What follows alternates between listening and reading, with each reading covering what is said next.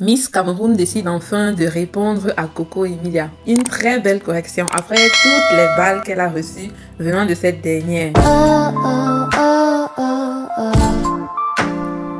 Depuis que la Miss du Cameroun a dit que le métier d'influenceur n'existe pas et que toutes celles-là qui se sentent influenceuses et tout sont en réalité des putes, il y a une de nos influenceuses les plus grandes au Cameroun qui s'est vraiment sentie indexée par la chose. Il s'agit ici bien évidemment de Coco Emilia. Elle a commencé donc à clasher notre Miss Cameroun en disant Oh, vous choisissez même vos genres de Miss là comment Que oh, elle n'est même pas capable de s'exprimer. Et elle ne s'est pas arrêtée là. Elle a continué en disant que vous dites qu'elle est naturelle, non. Mais elle-même, elle est tressée avec les mèches, non. Elle est maquillée, non. Elle a des boucles aux oreilles, n'est-ce pas? Alors elle est tout aussi complexée que celle qui se décape et va dans les extrêmes pour se rendre belle. Si tu veux être naturelle, sois le à fond. Tape les bacalas sur ta tête, ne te maquille pas. Rien soit naturel à fond, sinon tu es tout aussi complexé que les autres. Tu juges les gens sur leur façon de vivre et tu les insultes. Fine. On raconte aussi que pour avoir ce statut-là, il faut d'abord donner et qu'après, c'est vous qu'on appelle pour accompagner les grands hommes d'État. Même si elle n'a pas mentionné quelqu'un, elle a généralisé. Et moi, je dis, si tu représentes ce pays, faut tourner ta langue 40 fois dans une émission avant de dire quoi que ce soit. Que oh, elle s'est mal exprimée. Hein. Alors qu'elle a dit durant son interview de ne pas avoir peur des mots, qu'il faut dire ce qu'on pense avec des vrais mots, quoi.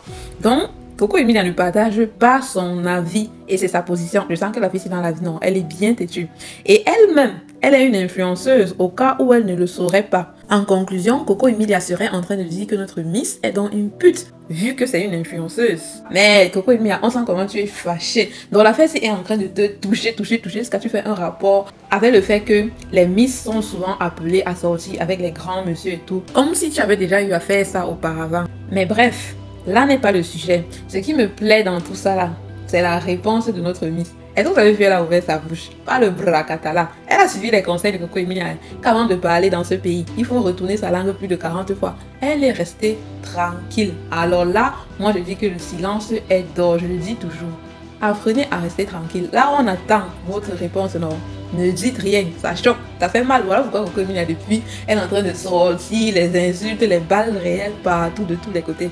Mais Julia Samantha ne dit rien. Elle est dans son coin et moi j'apprécie ça il faut savoir rester silencieux.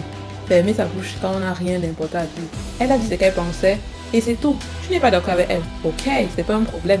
Tu as ta position. Moi, ce qui m'a dérangé, c'est qu'en prenant ta position, tu l'as rabaissée. Et franchement, moi, là, je vais pas prêter ça. C'est vrai, chacun fait ce qu'il veut de sa vie.